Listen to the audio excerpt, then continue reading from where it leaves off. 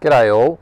This year, everybody going on the fire ground, operational or any sort of support role at all, are to do two things. You're to do the entrapment drill and you're to do the hazardous tree awareness package as well.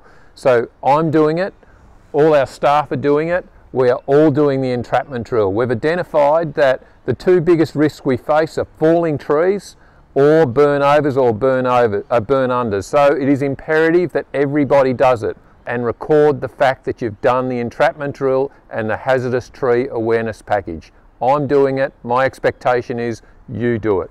Thank you.